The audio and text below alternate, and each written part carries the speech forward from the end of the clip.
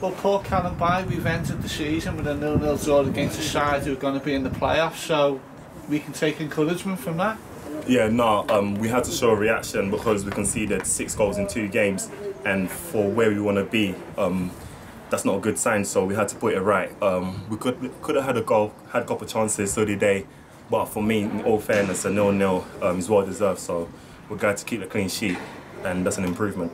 You were blown a bit at the end there, wasn't you? The first Yeah, 90 no. minutes for a while. Um, it's my first game um, since Ipswich, so obviously um, fitness ain't as it's the same as match fitness. So obviously, nah, I thought I thought I got on quite well. Um, yeah, but last ten, that's a hold on, and um, thankfully we kept a clean sheet.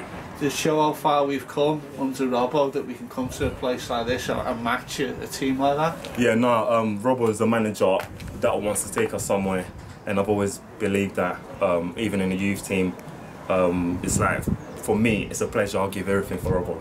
Um, so the boys are bought into it, um, which I'm glad. Um, we always knew the system will always be working, and now we're all like pushing up for something special, and we don't want to talk about the past.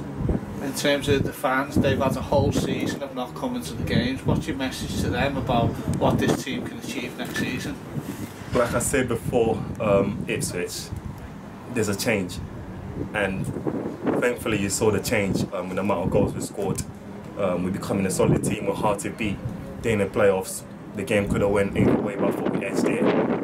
Try and get us an account a couple of times. So I'm saying there's something special.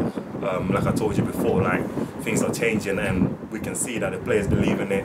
We believe in the manager. So all we're gonna say for the fans next season is gonna be exciting.